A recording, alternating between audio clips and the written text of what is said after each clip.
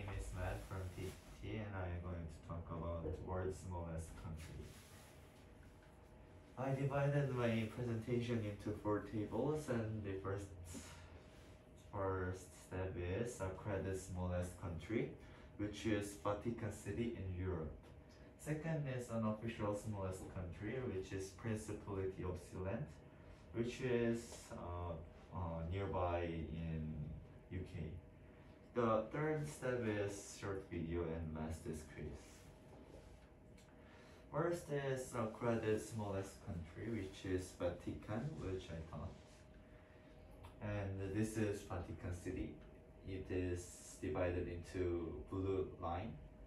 This is Vatican City, and it is very small as it look, and uh, it is on the can I speak Korean for one? No. It is um like elementary school social studies books pages, and you you would know it if you're like elementary school sixth grade. So okay. Uh, it is the Vatican City is the size of Seoul Boramae Park, and it is smaller smaller than Everland in Yongin. As you can see, this is Russia, which is the biggest country in the world. And as you can see, you can see this green spot is Vatican. Uh, its area is 0.49 the, uh, vertical kilometer, and its population is 825, which is very small. Uh, but Vatican is a very beautiful city, and it is considered as a holy land, and the whole country is in UNESCO. Its president is Fernando Vérgez Alzaga, and this is like, oh wait, wait, wait, wait, wait. This is like a park in Vatican, and this park is the health size of Vatican country. The second table is unofficial smallest country, which is Principality of Sealand. This is Principality of Sealand, which is in uh, near nearby sea on UK, and it was built in World War II to like defend it. But when the World War II was done, it was almost like destructed and it was told to be destructed but when people bought this and built it into a country by itself it is smaller than a like inner pool so and uh, you can see this like this and this is the like what's that Flag. yeah, flag of the Principality of Sealand.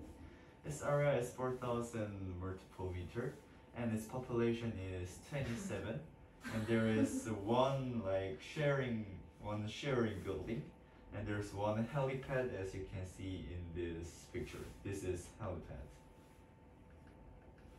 Okay, now I'll show you a short video.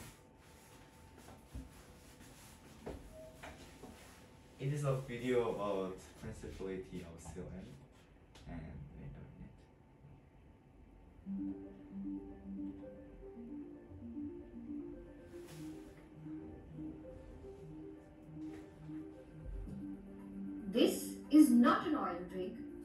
abandoned airstrip.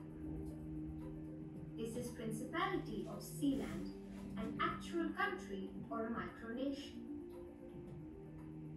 Sealand is an offshore platform situated in the North Sea. It was built by the British during World War II as an army and navy fort. It was asked to be demolished after World War II since it was outside UK waters. But in 1967, Sealand was occupied by a man known as Paddy Roy Bates, who declared it as a sovereign country. From then to now, Sealand has been functioning in defiance of the UK government for 54 years. It has its own constitution, a national flag, and even a national anthem. Its motto is From the Sea, Freedom. Sealand might look like platform on top of two concrete towers, but it has several facilities, including rooms, kitchen, and new decking.